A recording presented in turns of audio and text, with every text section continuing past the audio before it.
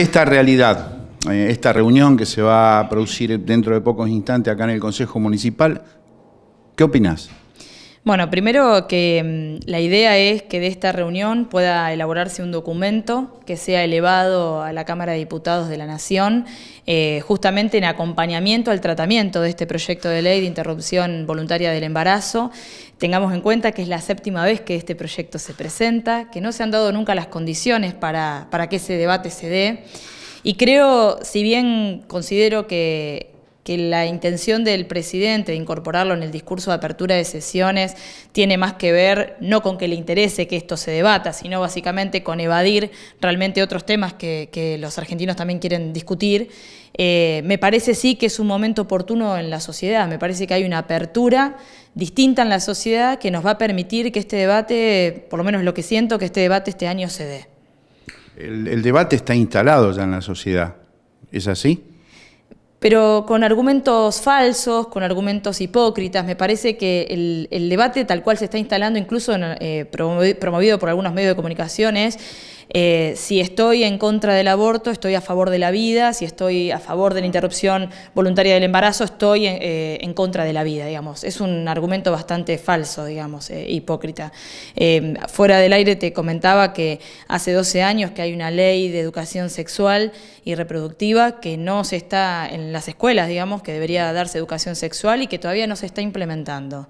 Y o oh casualidad, los mismos sectores que hoy hablan de que defienden la vida son los sectores que se oponen a que esta ley se, implemente. Si vos eh, como Estado garantizás una educación sexual, le estás dando a los jóvenes, a las mujeres, herramientas para poder decidir sobre su sexualidad, sobre su planificación familiar. Si vos como Estado, como recién decía la concejala Magnani, no estás eh, enviando ni preservativos ni anticonceptivos, justamente es algo eh, absolutamente hipócrita que digas que estás a favor de la vida porque estás impidiéndole a un montón de mujeres poder planificar sobre su reproducción, sobre su, definir sobre su propio cuerpo y sobre su planificación este, familiar. Y por otro lado, no hay duda que este, no habiendo ley o habiendo ley, los abortos se hacen igual.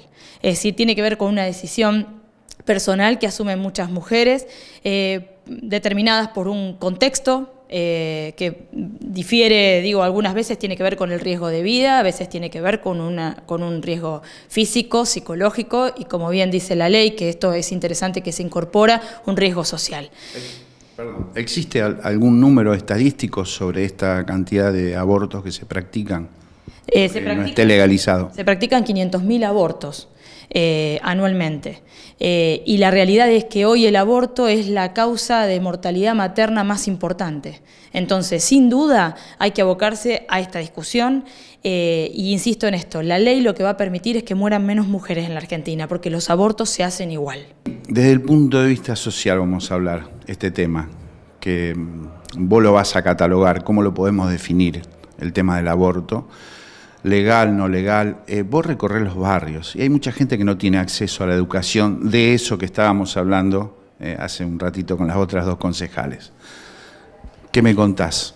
Así es, este, me parece que más allá eh, que en lo social nos atraviesa, es un tema que nos atraviesa a todas las mujeres, eh, la diferencia está en eso, ¿no? En el acceso que tenemos algunas a la información, al cuidado, este, a la salud, eh, digamos, de calidad y a, estas mismas cosas muy precarias otras mujeres, ¿no? Creo que la diferencia está ahí. Como bien señalaban antes las concejalas, hay una ley de educación sexual que no se implementa y que es para que todas las escuelas este, la, implementen, la lleven a cabo.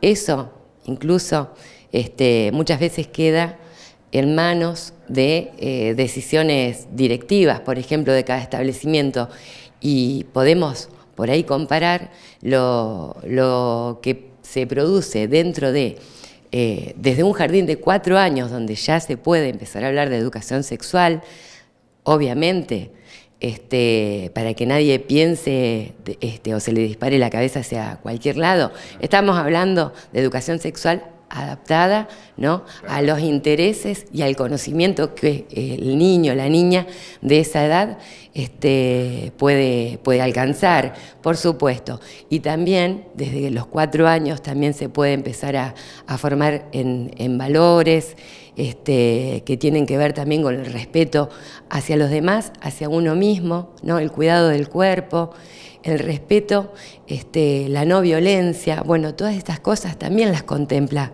la ley de educación sexual. Sin embargo, hay pareciera tantos este, obstáculos para que se implemente eh, totalmente en la escuela pública y bueno, ni hablar en la, en la privada, ¿no? Donde muchas veces este, esta depende de este, tal vez eh, alguna mm, eh, iglesia particularmente no solo las católicas, pero privadas, que bueno, se oponen muchas veces a que la ley se, este, se pueda dictar como, bueno, la misma manda.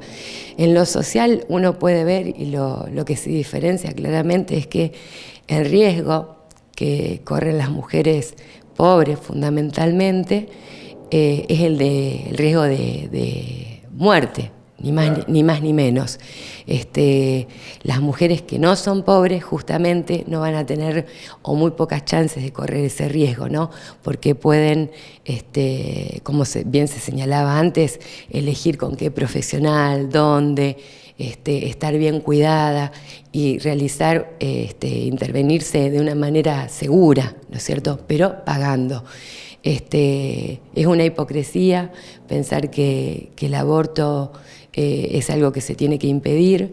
La verdad es que hay casos que están contemplados por la ley, incluso la justicia ha dictaminado a través de fallos muchas veces la, necesidad de que se eh, acate la misma eh, cuando hablamos de embarazos este, violentados, ¿no? por violaciones, por ejemplo, cuando se trata de personas que no son libres de este, discernir, este, discapacitadas, pero lo cierto es que lo que estamos charlando hoy es eh, de una ley que contemple la interrupción este, voluntaria del embarazo, porque entendemos que fundamentalmente somos nosotras las que tenemos que decidir cuándo, ¿no?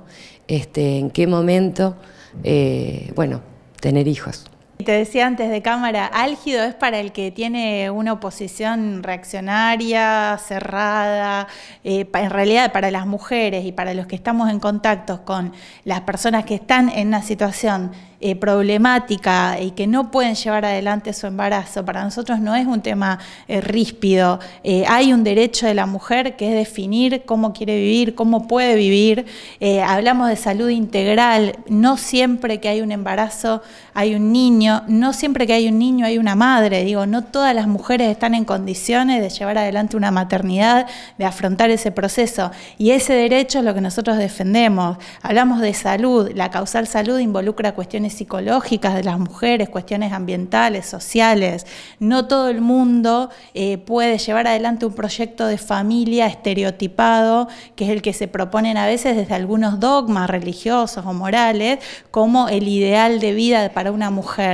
Eh, nosotros además insistimos en que tiene que haber políticas de educación sexual, tiene que haber políticas para permitirle a las mujeres prevenir un embarazo. Hoy no todas las mujeres tienen acceso a la educación sexual, no todas las mujeres tienen acceso a los anticonceptivos, incluso porque hay mujeres que son forzadas a tener relaciones sexuales, a veces por sus parejas, a veces en contexto de abuso, en contexto de explotación sexual. Hay que tener condiciones de igualdad para las mujeres, para que puedan eh, definir sobre su salud sexual y reproductiva. ¿En qué caso entonces vos pensás, eh, dentro de ese tema que vos me contradecís, que está bueno, eh, que vos decís no es álgido ni ríspido, hay que interrumpir un embarazo? Hay muchas situaciones que se presentan en nuestra ciudad, en los centros de salud, donde distintas mujeres se acercan porque tienen dudas sobre la consecución de ese embarazo. Hay equipos médicos que intervienen y, e intervienen de acuerdo a un protocolo, que es un protocolo que se elaboró en el Ministerio de Salud de la Nación, y hay protocolos locales para llevar adelante esa interrupción del embarazo. Lo que es importante resaltar es que hay también mucha hipocresía a veces en el sector médico fundamentalmente. Eh, muchas personas que se manifiestan objetores de conciencia y no quieren llevar adelante esta práctica, luego en el sector privado practican estas prácticas por un precio alto que ronda entre los 10 mil y 20 mil pesos según el caso. por un lado no y por el otro lado sí. Hay que hablar del gran negocio oculto detrás de la salud de las mujeres y la práctica ilegal de los abortos es un gran negocio de un sector privado. Entonces nosotros queremos eh, sacar este manto de oscuridad y de corrupción y de plantear la salud de las mujeres en el eje de lo que tiene que ser la discusión sobre la salud pública. Hay mujeres que mueren porque se les practican abortos en condiciones insalubres y ese número crece, lejos de decrecer, ese número crece. A pesar de toda la difusión, a pesar de todo el acceso a los medios, a Internet, ese número crece. Entonces digo, tenemos mujeres que siguen muriendo por abortos clandestinos. ¿Qué estamos esperando para dar una respuesta del Estado que garantice la salud de esas mujeres? Eh, siempre se habla desde algunos sectores de, bueno, pero el derecho a la vida, la vida de estas mujeres importa. Y además estas mujeres generalmente son madres de otros niños y generalmente son sostenes de familia. Y también la vida de esos niños que se quedan sin madre importa. Entonces hay que ver en su conjunto las situaciones y apostar, insistimos, la educación sexual es importante y que el Estado provea elementos de prevención de embarazo es importante. El Gobierno Nacional hace dos años que no envía preservativos a los centros de salud, interrumpieron la provisión de anticonceptivos. Entonces, digo, las políticas de salud tienen que acompañar a las mujeres en su posibilidad de definir sus proyectos familiares.